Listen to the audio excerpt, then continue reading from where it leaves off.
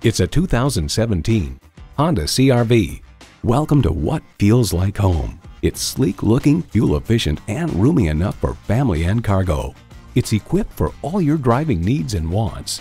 Auto dimming rear view mirror, adaptive cruise control with low speed follow, front heated leather bucket seats, integrated navigation system with voice activation, continuously variable automatic transmission, dual zone climate control, Apple CarPlay Android Auto, Bluetooth wireless audio streaming, hands-free liftgate, gas pressurized shocks, and intercooled turbo inline four-cylinder engine.